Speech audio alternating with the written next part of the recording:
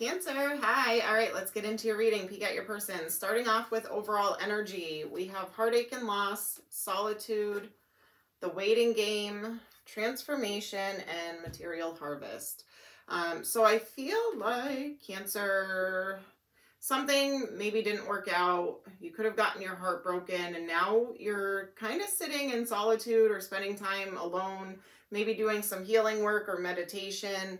You could be waiting or just hoping time moves a little bit faster so that way you can be on the mend. You are looking for a transformation or some kind of change here um, or growth because you are looking for that stability, that, that solid grounding for something. And I feel like maybe you thought something was going to provide that and it didn't. And now you're just kind of tuning in, turning in, or just want to be left alone right now so that way you can heal. Um, but this could also be your person. So let's get into it. Uh, cancer, your person's current energy, current situation. Um, keep in mind it is a general reading. So when I say your person's energy, it could actually be yours. So feel free to flip flop and reverse the energies. Same to you, cross watcher. All right, so let's see what's going on with your person. Page of Cups, Page of Wands in reverse. So some some kind of emotion going on. This person could be out of ideas or creativity. All they have to offer is like a little bit of emotion, or they could have been a little immature. There could have been an age difference. Wanting stability. We have a lot of pages coming through. Page of Cups, Page of Wands, Page of Swords. They could be watching you on social media or trying to observe texting you, trying to communicate with you. Strength, confidence, courage, and the chariot. I mean, I could see it as maybe you hurt this person, but um, I could take that back as well. uh, so we have Knight of Swords. Queen of Wands, so Aries, Leo, Sag, Gemini, and then we have abandoned, left out in the cold, left hanging. You could have been dealing with an air sign or a fire sign, and now they're feeling abandoned, left hanging, left out in the cold.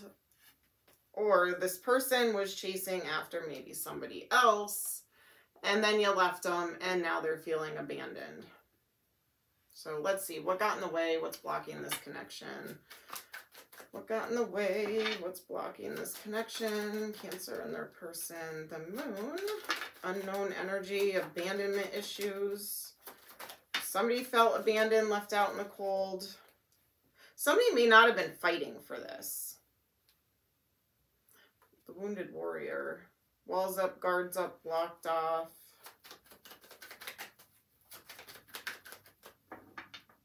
Walking away.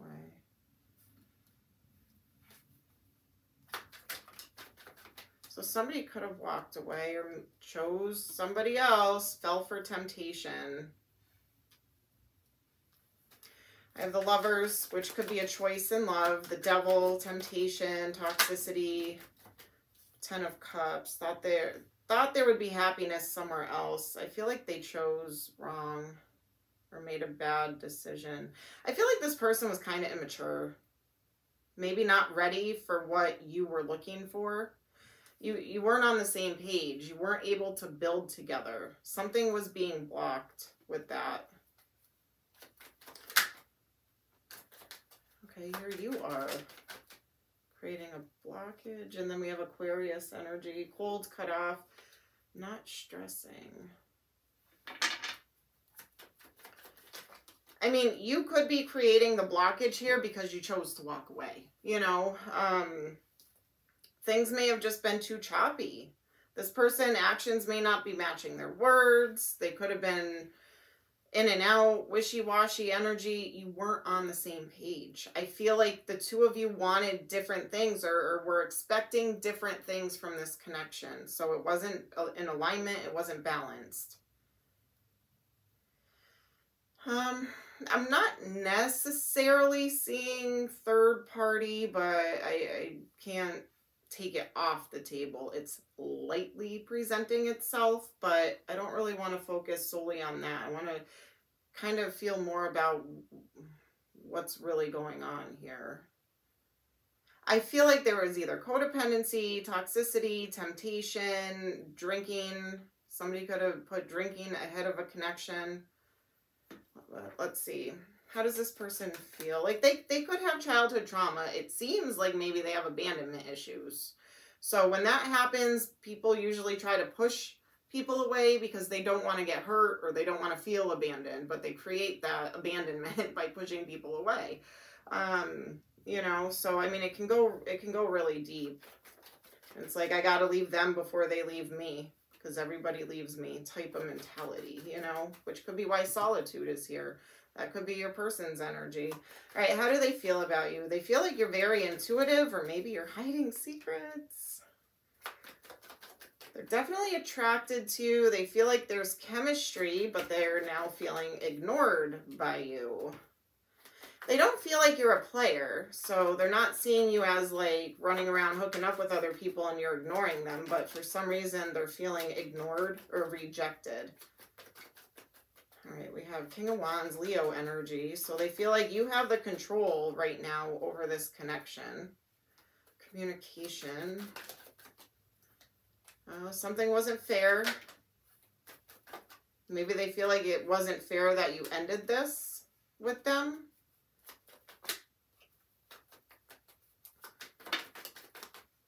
Strength, confidence, courage. Uh, maybe an apology, Knight of Cups, or a love offer. They could be finding, trying to find strength to apologize to you.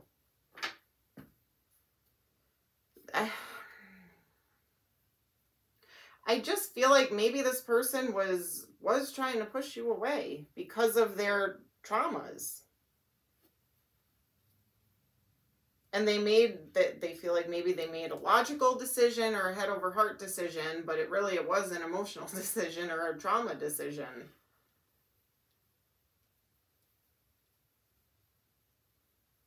They could feel maybe you did that too. Maybe you had to make some kind of head over heart decision. Maybe they were playing with your emotions I feel like they're they want to apologize, and I know everybody else. I mean, you know, they always want to return. They always want to apologize. They haven't yet. They could be thinking about it. They could be wanting to, but again, they're trying to come up with the courage to to actually do it. So whether they do or not, that that could depend. So, all right, let's see. So what was the point of this connection? Decisions. Somebody had a choice and this was chosen over the other choice. It could have been to teach you about making better decisions. I don't know.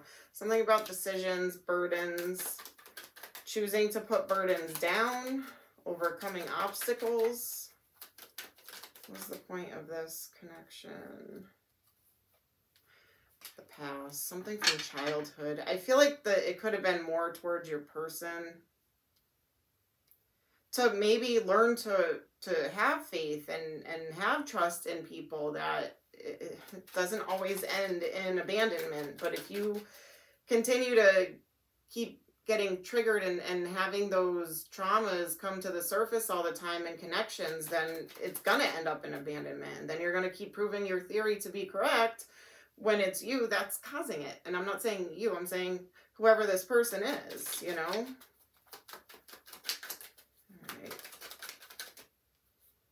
enough with the TED Talk. All right, so there could be a, a, matter of learning to also set boundaries, stand up for yourself, where to put in work and effort, and how to move that wheel forward in your favor. Where it actually is moving forward and you're not just spinning your tires in the mud type of thing and staying stuck. So... I also feel like there's a level of reconciling with yourself.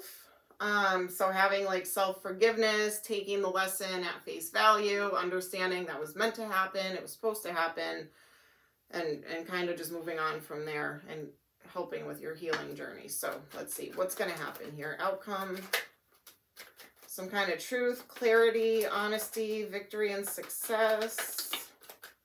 after probably a lot of confusion going on here.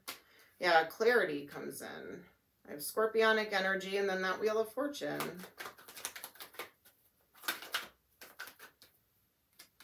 Emperor, the world. So somebody is kind of bossing up, taking action, taking control to either close out this cycle, move into calmer waters. Somebody's not going to like that um, communication coming in. I feel like it's you, though. I feel like you're going to actually close a cycle out. You've learned your lesson. You're going to move on. It's not easy. I don't feel like it, you wanted it that way. But I feel like that's that's what you're going to do. Even if you do get an apology from this person, I feel like you're just, you're moving on to the path of least resistance, right? So happens here? See, this person, they're not, they're not going to change. They're not going to change. They're going to continue to put other things first. I feel like there's something coming through maybe with like drinking, partying, socializing, something like that. They're just, they're, you're not in alignment. You're walking away. Your intuition is probably screaming at you to do so. And I feel like that's, you know, what's best. Because you are looking for stability and a stable new beginning. So is that going to come in for you? What's next for Cancer after this? There you are. Putting the burdens down. What's next for Cancer after this? You, okay, so you are kind of sitting in solitude. You're hurt. You're disappointed. You're a little bit blocked off right now. So you're going to do some healing work.